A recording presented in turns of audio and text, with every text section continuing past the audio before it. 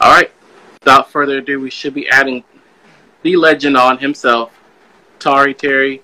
Here he is. Hello. What's up, sir? How are you? All right. How are you? D- DC says I love being around people that are better than me at stuff. I got I get uncomfortable if I feel like I'm the smartest person in the room.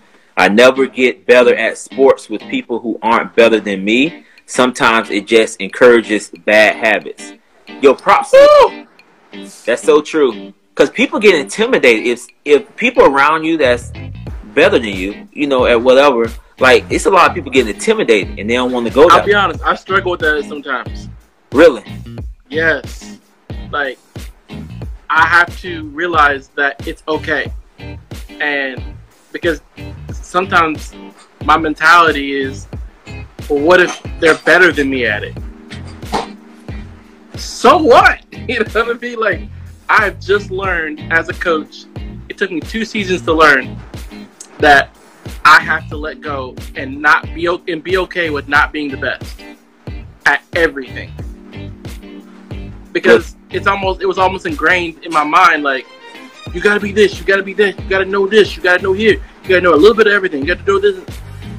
And really, the best, some of the best business minds I know know how to manage people really well. Yeah. And they know how to push people who do something really well to the top and celebrate them. Yeah.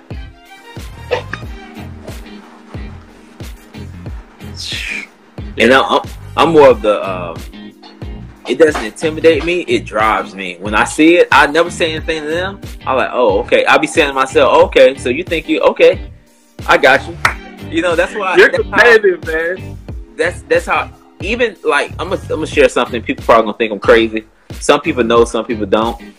When I go run, sometimes when I don't feel like it, I drive around the lake one time, and I find a person who I feel like well, I won't get that far in detail, but I find a person that, dude, it's just some people, and I guess you can say I'm judgmental when it comes to this. They they just so cocky. They just like you see them and they just like just do the most, and it like drives me crazy.